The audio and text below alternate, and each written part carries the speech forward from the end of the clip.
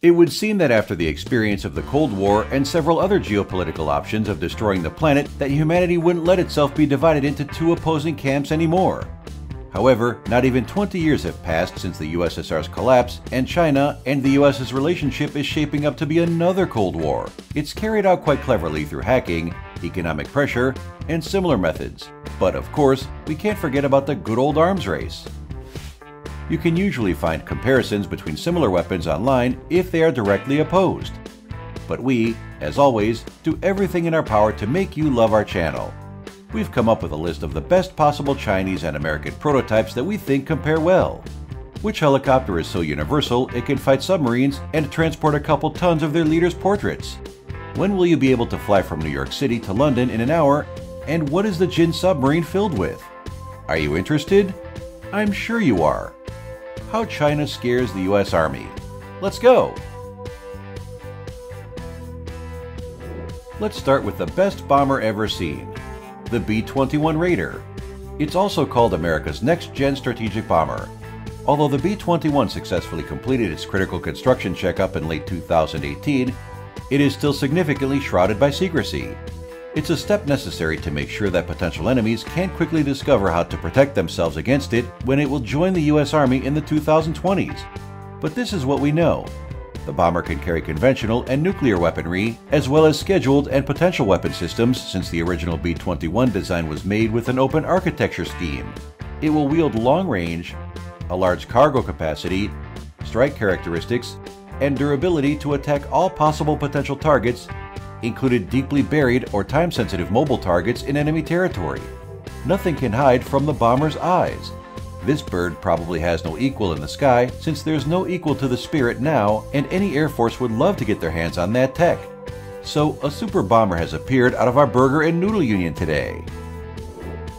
It's time for the fresh-baked communist allies to show themselves. There it is, a development that can be the base of the combined army instead of the expensive and old Abrams. The VT-4 is the Chinese main battle tank developed especially for export, it's also known as the MBT 3000. Oh yeah! The Chinese have finally stopped just modernizing old Soviet designs and took a step forward. The VT-4 is equipped with a fully stabilized 125mm smooth-barreled cannon. The cannon is an automatically fed rotary-type cannon. The automatic loading reduces the crew to three people, letting them make the tank smaller. The loading speed is up to 8 rounds per minute to fire 4 types to rounds. But that's not all. It also has eight 76mm smoke grenade launchers and four 76mm shrapnel grenade launchers. It also has anti-tank controlled missiles that are shot from the cannon. The tank's frame is on a track chassis and looks like a fully welded armored steel design. The tank is also equipped with smoke grenade launchers and nuclear, biological, and chemical crew defense systems. The tank weighs about 52 tons. Not stupid at all, like a tank on 5 lemon bucks. Let's speed up now. The X-51A Waverider is a US-developed hypersonic winged missile. It travels at about 3,400 miles per hour and can fly from London to New York City in an hour. Baron Munchausen would fly faster on it than on a cannonball. Old U.S. Air Force scientific advisor Mica Endsley worked on the design and noted that the first hypersonic flying devices should be available in 2023. The X-51 Waverider missiles were developed by Boeing and worked by falling out of a traditional carrier plane. During successful tests, the missiles were thrown out of the plane, then turned on several acceleration stages, and flew off at ultrasonic speeds towards the target. It was designed to continue the path towards hypersonic weapons of the future, hypersonic intelligence, observation, and recon, as well as future space access. It should be ready in 2025. We doubt anyone will be able to catch up to it. Now let's cool off. Underwater, perhaps.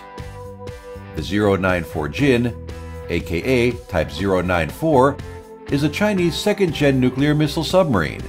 The Type 094 subs are 442 feet long and are equipped with 12 missile launchers, each capable of launching two underwater ballistic missiles that can carry up to three nuclear warheads to their target at ranges up to 5,000 miles. The submarine can carry 12 ballistic missiles. There have been rumors that the Type 094 uses some Russian technologies, and as expected, will be significantly improved compared to the single shot class ballistic submarine, with improved noise dampening systems and instruments, as well as a more reliable power station. Although this submarine is not considered to have reached the same level as new Russian and Western missile submarines, especially in terms of silence and missile amount, it is a huge step forward compared to the first Gen 092 Xia type ballistic submarine.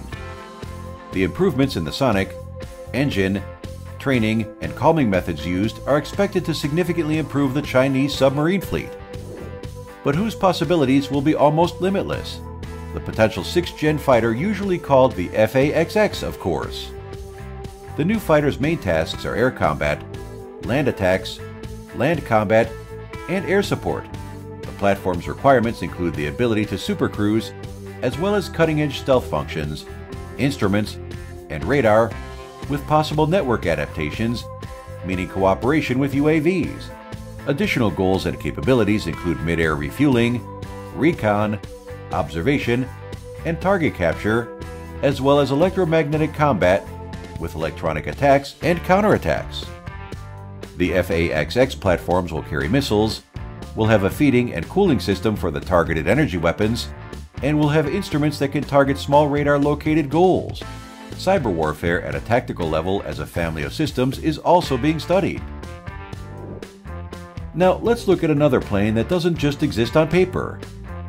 The Z-18 is a single rotor helicopter with a flight stick and a fixed chassis. It can reach speeds of 209 miles per hour and heights of about 29,500 feet. The helicopter underwent a series of tests that were gathering information on how the vehicle behaved at great altitudes, including flight speed and potential cargo capacity. According to a pilot's data, 29,000 feet up in the air, there was a warning signal, but the crew saw the potential to climb up another 500 feet to 29,500. It has a replaceable lower part, reserve power, and is provided with three improved turbo WZ6C engines. Its maximum takeoff weight is 13.8 tons. It can carry 27 passengers or a 5 ton load. It also has a glass cockpit and a light frame made with extensive use of composite materials and titanium, as well as composite rotor blades. Additionally, the Changhe Z-18 helicopters are positioned as an aerial means of combating submarines and enemy ships as well as transport or search and rescue air vehicles that can operate at extremely long ranges. Oh yeah, this is a worthy competitor for Sikorsky where only one can win. Last but not least for today, the largest ship in the world, the aircraft carrier G Ford. There are extensive debates to this day on the need for such an expensive project. The new ship's keel was ceremonially laid down on November 14, 2009, in Dry Dock Number 12 by Ford's daughter Susan Ford Bales. In her speech to the gathered workers and representatives from the Ministry of Defense, she said, Father had a difficult call to restore trust to the presidency and heal the nation's wounds after Watergate. Only he knew how to do that, with absolute honesty and integrity. We remember this legacy on this morning today. On May 31, 2017, the Gerald R. Ford was acquired by the U.S. Navy. The ship is equipped with an EMALS electromagnetic catapult based on a liner's power station. It lets it catch up to military planes more smoothly and avoid load too heavy in designing UAVs. The two new reactors designed for the aircraft carrier are capable of producing 25% more electricity than the previous generation's aircraft carrier's power stations. The energy reserve lets the ship recharge the catapults and launch new planes more quickly, and it can carry up to 75 planes and helicopters on board.